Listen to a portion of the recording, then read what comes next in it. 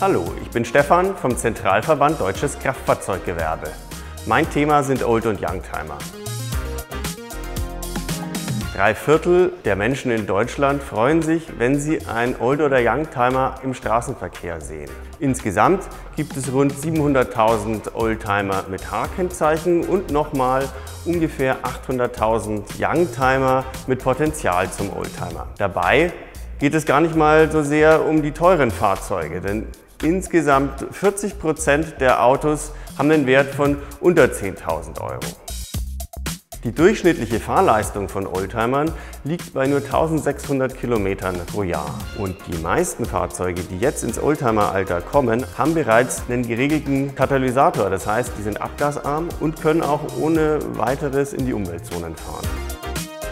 Über den gesamten Lebenszeitraum haben Old- und Youngtimer einen ganz guten CO2-Fußabdruck. Es muss kein neues Auto gebaut werden und die Fahrzeuge sind immer wieder reparierbar. Und falls es doch mal was zu reparieren, instand zu halten oder zu restaurieren gibt, dann geht ihr am besten in einen der 800 Fachbetriebe für historische Fahrzeuge.